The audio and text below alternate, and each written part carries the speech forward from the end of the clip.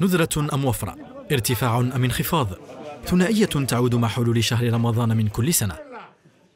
بعد مرور أسبوع من الصيام تنقلنا إلى السوق الجوارية لبج الراح للوقوف على أسعار الخضر والفواكه.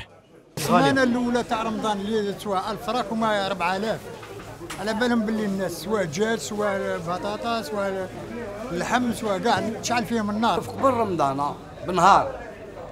شي الطوماطي 7000 premiers jours تاع رمضان. 15000 لحق 18000 لحق 18000 c'était profitage. التجار بدورهم رأوا أن ارتفاع هذه الأسعار يتزامن مع الأيام الأولى لشهر رمضان أين يكون التهافت على الأسواق والطلب مرتفعا؟ اليوم هذوك راه تهبط النهارات ما شوف البطاطا كانت شوية غالية دوكا هبطت كانت 7000 6000 دوكا 4000 ولا 4500 آه كاين حوايج غاليين كاين حوايج رخاص. بصح المواطن علاه يبكي. ما عندوش مدخول دراهم ما كانش والآن الأسعار ليست مرتبطة بأسواق التجزئة فقط. توجهنا إلى سوق الجملة بالكاليتوس.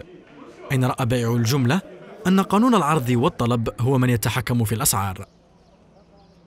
إحنا دائما نقولوا العرض والطلب تاع السلعة هذه يكون العرض والطلب العرض كي تكون عرض السلعة تكون كاينة بزاف السومة تنقص. كي تكون العرض ما كاش السومة تطلع. هذه إحنا السوق تاعنا هكذا.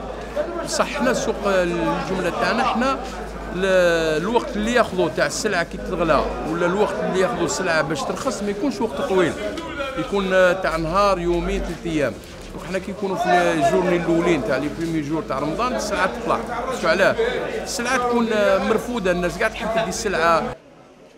ورغم تطمينات وزارة التجارة واتحاد التجار لا تزال الأسواق تخضع لمنطق المضاربين وإن تطرح مسألة الرقابة في كل مرة.